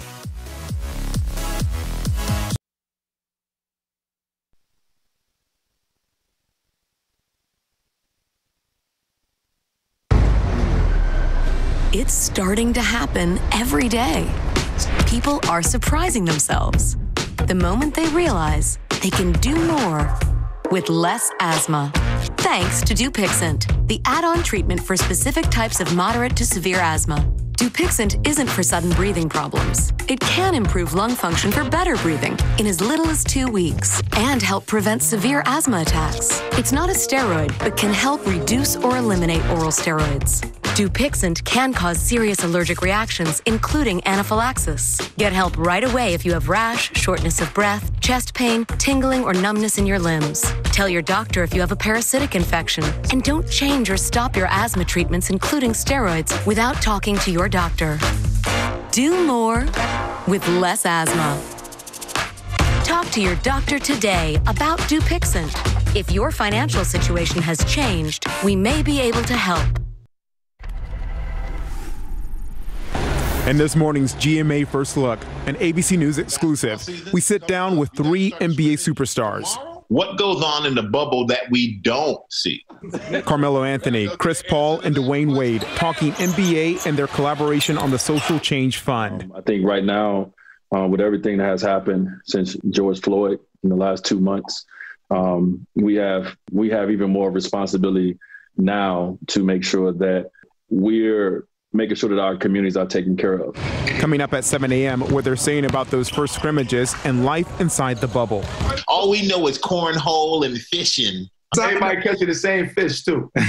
Throwing it right back. That's funny. hey, but look, all jokes aside, where where can you go? Like, how can you even sneak out? I ain't even trying to be funny. I'm being dead serious. It's like four knocks down here. With your GMA First Look, I'm Kenneth Moton, ABC News, New York. The University Interscholastic League has postponed the start of the high school football season in the state of Texas until September 24th for all schools in classes 6A and 5A. That impacts all the major school districts in the San Antonio and surrounding areas. Teams cannot start practicing until September 7th. The UIL says there will still be a full season. It will extend into January of 2021 to complete all of those games.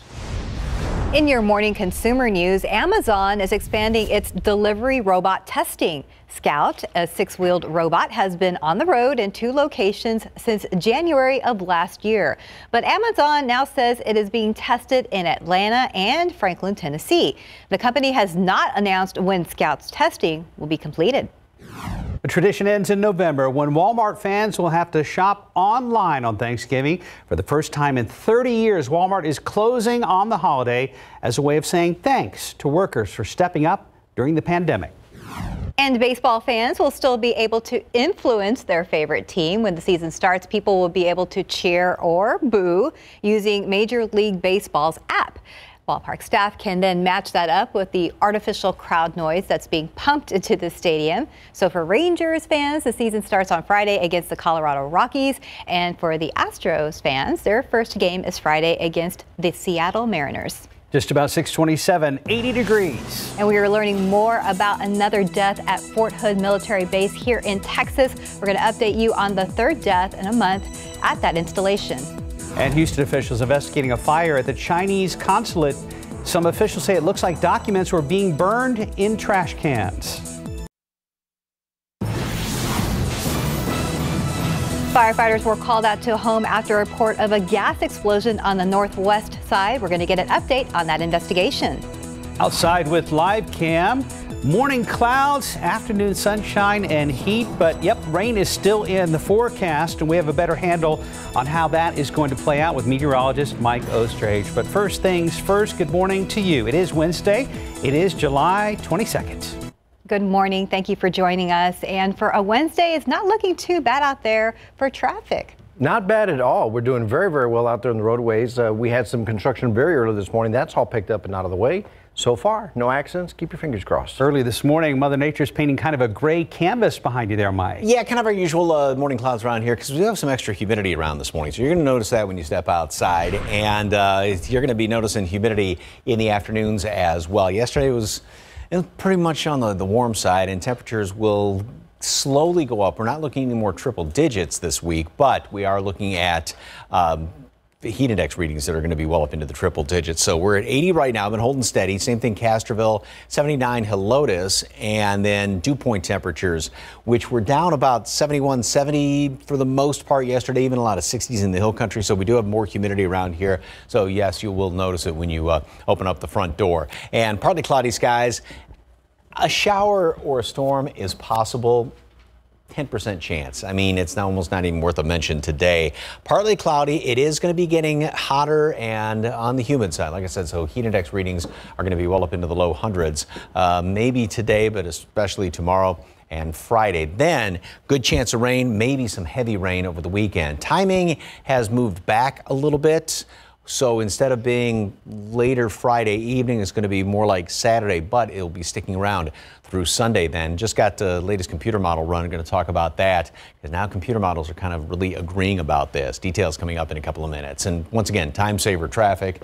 Yeah, there has there been anything as far as accidents this morning? Not yet. Okay. So far, we've been very, very lucky. Uh, we did have some construction overnight. That's picked up out of the way, so all lanes are back open once again. Let's take a look at a couple of TransGuide cameras right now. 35 at Evans. Start to see some slight increases, both in the north and the southbound lanes, all the way through 35 at 1604, as you see here in this shot. Moving over to 37 here, Jones, the downtown vicinity. Still no increases on 37 there, all the way through 281, and then 281 at 410 so far, no problems there. Stephanie? Thank you, Marcus.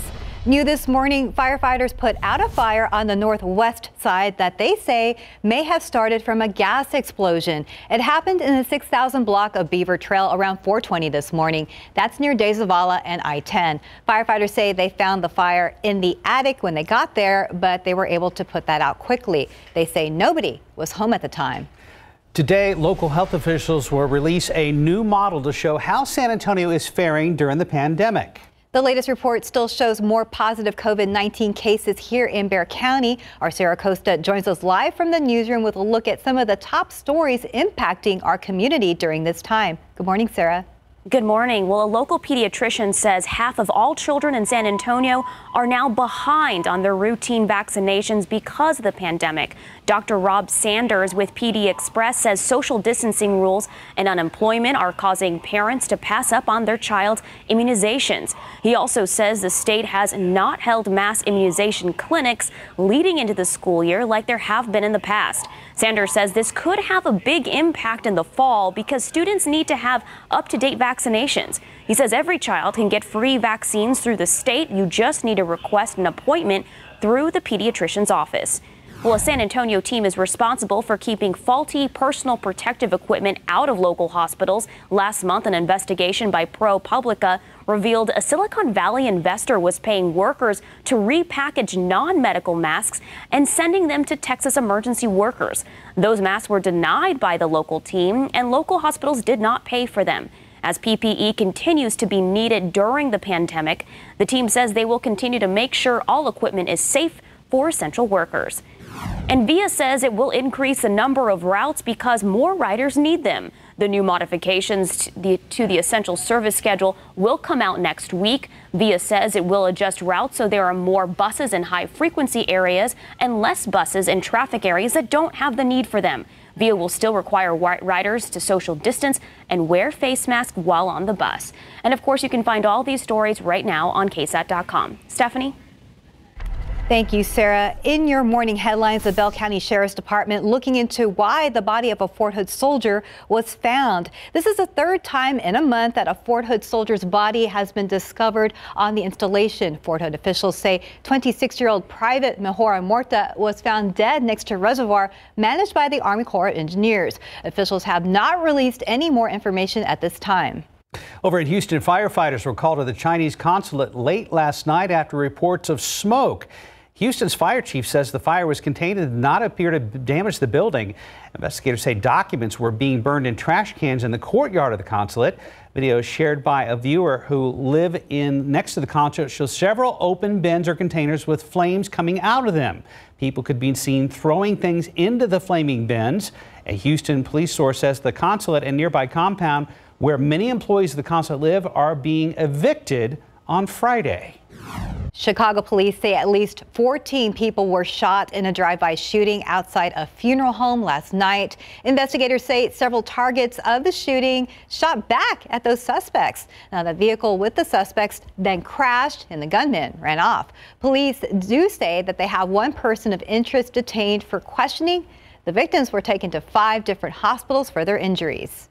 The Dominican Republic under a state of emergency. Its president issued a national decree due to an increase in COVID 19 cases. It will last 45 days and is meant to help avoid overwhelming medical services. More than 54,000 cases of COVID 19 and nearly 1,000 deaths have been reported in the Dominican Republic. The U.S. Geological Survey monitoring the aftermath of a powerful earthquake in Alaska. The magnitude 7.8 earthquake struck near the town of Perryville, which is south of Anchorage. A tsunami warning has been issued for southern parts of the state along the Gulf of Alaska. 637 right now, an alleged murder for hire plot brought down by an undercover state trooper. As police say, a woman thought she found a hitman online to have her ex-husband killed. ABC's Andrea Fujii has more from New York. This morning, a Michigan woman is now behind bars after police say she used a fictitious website to try to have her ex husband murdered. I'm very surprised that somebody thought that this website was a true website that you could do this. Investigators say 51 year old Wendy Wayne contacted rentahitman.com and completed a request form. But instead of a call back, police say the owner of the site called them. Police say Wendy met with an undercover officer and told them she was willing to pay $5,000 plus out of state travel expenses to get the job done where her ex husband now lives. We used a, uh, a state trooper posing as the hitman, and there was a conversation and she provided some funds for travels. And at that time, arrest was made. Now arrested and charged for solicitation to commit murder. Police say the owner of the site claims he's helped stop more than 130 murders. I most definitely think that uh, a life was saved. And doing a news story on this, I'm pretty sure that when this news story gets out, that some other uh, lives might be uh, saved by this. This isn't the first time something like this has happened. In Northern California, the owner of a tech website called rentahitman.com says they've also received many requests to have people killed. Andrea Fujii, ABC News, New York. 638, 80 degrees. And students having to adjust how they learn remotely, and parents also having to adjust how they help their kids with that schoolwork. After the break, we're going to learn some ways that parents and students can prepare for this upcoming school year.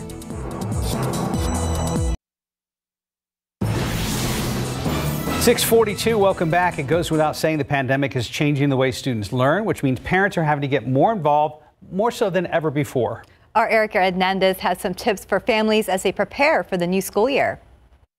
Kids here in San Antonio and across the country are being given alternate resources to learn and study from home, but it can be easy for them to get distracted with social media, videos, and games. So here are some things to keep in mind to ensure a structure stays strong while at home.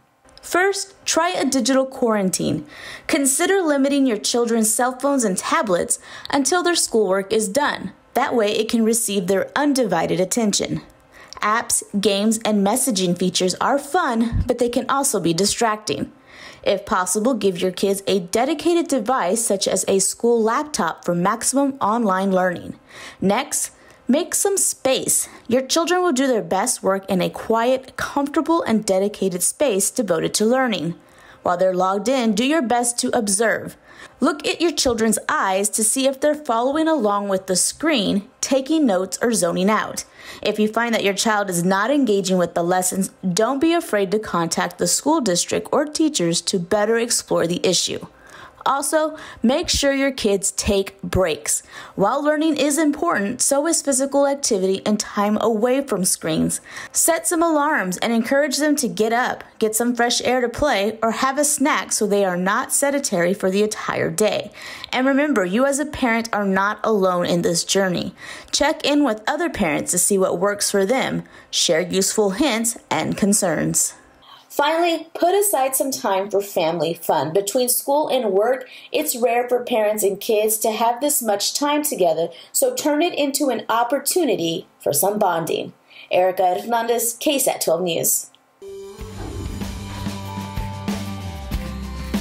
Every summer, KSAT and our community partners, University Health System, work together to keep our viewers informed about how to keep families safe. From how to prevent heat stroke to water safety over the next couple of days, professionals from University Health System will provide us with the latest, greatest safety tips. Our Sarah Acosta joins us live with an overview of our summer safety campaign. Good morning. Good morning. And just because we didn't see triple digits this week, it doesn't mean the heat is going to be pumping the brakes anytime soon. It's why it's so important to know how to stay safe during extreme heat. The most common weather occurrence associated with death is not a natural disaster, but the heat. It's why University Health System will be sharing ways to keep safe this summer.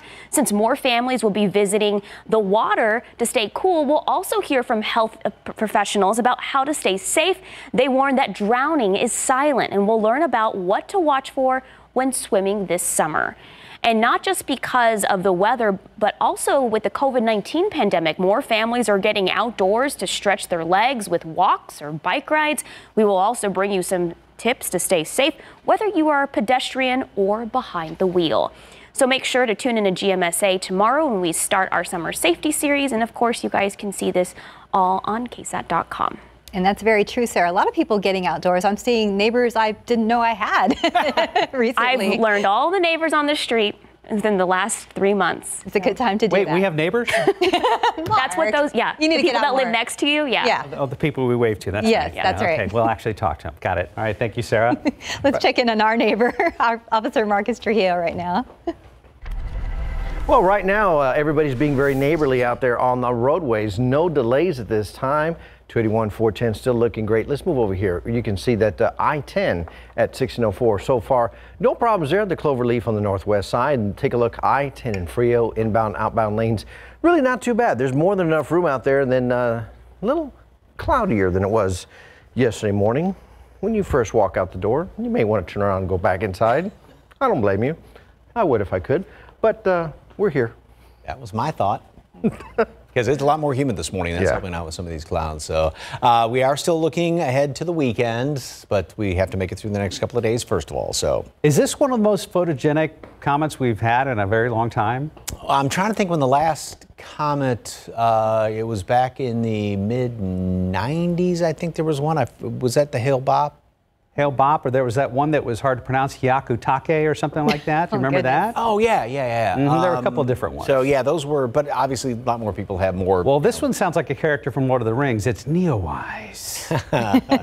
Ew, beautiful, and you know, out in the hill country is the best place to see it. I think we're coming to the end of the, the viewing for this now. I think it's just a few more days when you can actually see it, about an hour or so uh, after sunset, looking up to the northwest. Yeah, like Marcus was talking about, there's our clouds out there this morning. 80 in town, same thing. Castroville temperatures up a little bit, and we do have a bit of a heat index to deal with because there is more humidity out there. Uh, one or two little sprinkles have now popped up on radar, just very few and far between here and there, and a couple more well off to the east. And those are obviously sliding up to the north. That's what the computer models are indicating that there may be a shower here or there. Most of it would be well off to the east. Later on today, you know, one or two of them kind of trying to pop up here or there, and that's probably the extent of it. So wouldn't really count on any rain. And of course, yesterday the rain mm, that looked like it was coming in here decided to move straight off to the north, as is this batch of rain. Now, off to the east of us, there's that blob, if you will. That's the next low, which is working its way in our direction. That's what's going to be coming in here for the weekend. Timing has moved back a little bit, so it's going to be about 12 hours later. It had looked like it was going to be uh, sometime Friday evening in the overnight hours of Saturday. Now it looks like it's we'll start to see some of the rain from this early on Saturday morning, and that will continue to work its way in here. So pretty much uh, right now we're looking at almost a, a, sure thing as far as rain uh, Saturday and even into Sunday. This model has the heaviest rain, the center of it basically down to the south. Another computer model has this up a little bit further to the north. Uh, but in both situations, most of the area is going to be getting rain and potentially some heavy rain. Um, we're going to be looking at widespread, maybe one to three inches. And obviously, there's going to be some heavier pockets thrown in on top of that. And some of this could continue into uh, Monday as well, depending on how quickly this thing gets on out of here. You may have heard we have a new tropical depression way out in the middle of the uh, Atlantic Ocean. Tropical depression number seven. It is forecast to become a tropical uh, storm, and the name just escaped me. It's letter G, and it is, um, I can't think, I just popped out of my head. This is forecast to work its way off to the east, moving into the Caribbean, and that's going to be uh, over the weekend. So it wouldn't have any any effect on the United States at all until maybe sometime next week. Gonzalo. Gonzalo? Yes. Gonzalo. Gonzalo. Thank uh-huh. you very much. With a no, like Jello. Just looked it up this morning and just popped out of my head. Anyway, 89 degree. What's your name again? Uh, thank you, sir. Uh, 89 today at noon, partly cloudy skies, and then a high temperature today up to 96. Heat index is going to put it up into the low hundreds, and tomorrow. Going to be hot, going to be humid. Same thing on Friday. Maybe a shower Friday, uh, kind of doubtful. Then the better rain chances move in here Saturday as well as Sunday, perhaps lingering even into Monday. Well, we, it, we know it's a lot to keep tabs on, so it's okay. So. Gonzalo. Gonzalo. Gonzalo. I was almost going to go back to Chris Cristobal because that was the one that everybody right mispronouncing and it was around for such a long time. It was kind of all over the place, yeah. But yeah. we'll take uh, Gonzalo for 500. Mm-hmm. Okay. We got your back. Don't worry. Yep. Thank you much. 650, 80 degrees. And during a time that many of us are working from home, it can be difficult to sign off from work. Join us tomorrow on GMSA, uh, where we could go over how the experts say you could create a boundary between work and your personal life. Outside with Live Cam, the news you need to know before you go is coming up.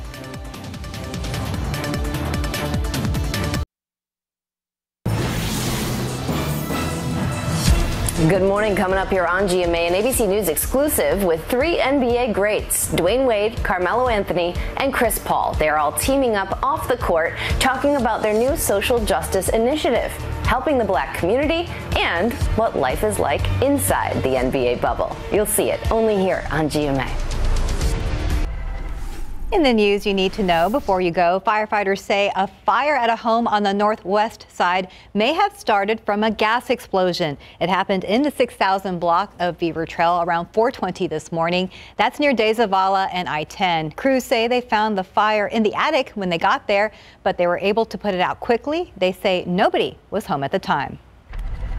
Coming up today on GMSA at 9, we're starting a brand new segment that your kiddos are going to love. That's right. Super meteorologist Katie Blake will be joining us in the studio to try out fun and easy science experiments all live. Today, she's doing the tie-dye milk experiment. So if your kids want to follow along here, this is what you need. A round cake pan or plate with high edges, cotton balls, uh, dish soap, and different colors of food dye and milk. So join us for the first ever Katie Science Lab today at 9 after Good Morning America.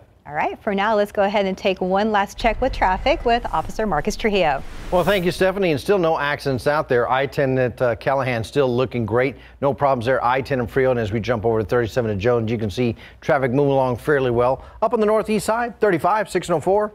No issues there.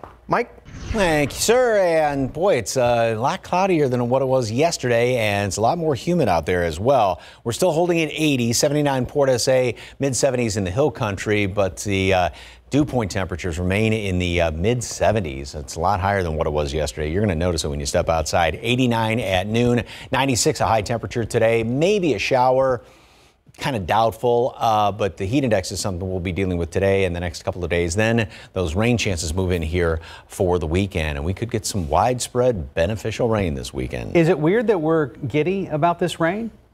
No, not at all. When it's been uh, more than three weeks since we've had any measurable rain out there at the airport. I think it's 24, 25 days now in a row. Wow. I yeah. think at this point it's understandable that we're giddy. Yes.